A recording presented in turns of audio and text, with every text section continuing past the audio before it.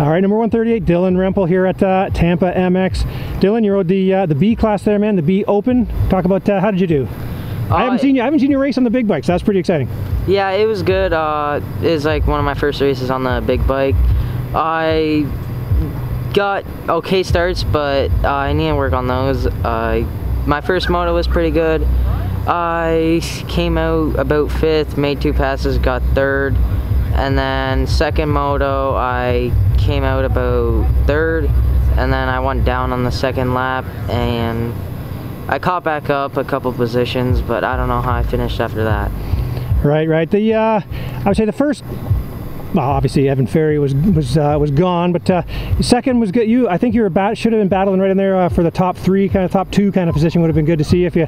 But you went down. What happened? You just kind of slide out. It was a bit uh, dark and slippery, or what was it? Uh, yeah, I just came into the turn and tucked the front end, and then by then it was too late to try and get it back up.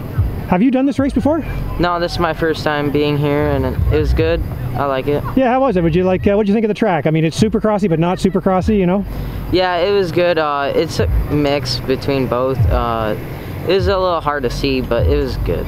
Right, right. Yeah, it's uh, obviously it's tough. I guess there were uh, even fewer lights last night, but uh, so they brought some more in for after practice yesterday. But uh, so okay, so this went uh, pretty good. You look pretty darn comfortable out there on the uh, on the 250. What's uh, what's next for you?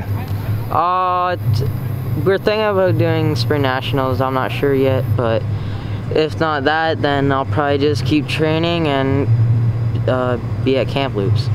No, I was going to say, you looking forward to heading west? Yeah, it's gonna be fun. It's gonna be my first time, and I'm gonna be racing pro. That's amazing. Like a yellow plated pro or pro? Uh, yellow plate. Right. Okay. Okay. Are, are you 14? Yeah. That's incredible, man. That's uh, man. It's we still talk about Colton Facciotti racing pro when he was 14. So that's uh, pretty big shoes to fill for a 14-year-old heading into the. Uh, I mean, kids, I guess, do it as amateurs, uh, intermediate, but uh, going to be exciting. Uh, you're feeling comfortable on the big bike? Yeah, it's good. It's been going good uh, from the small bike to the big bike, and just getting more comfortable on it every time I ride it, and yeah.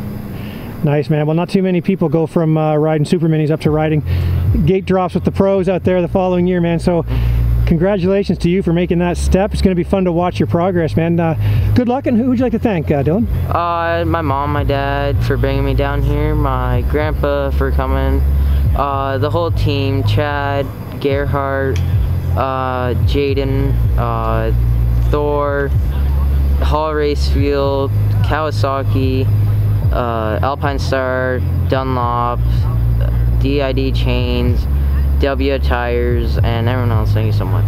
All right, man. Well, hey, good luck, and uh, can't wait to see you out west. Yeah, thank you.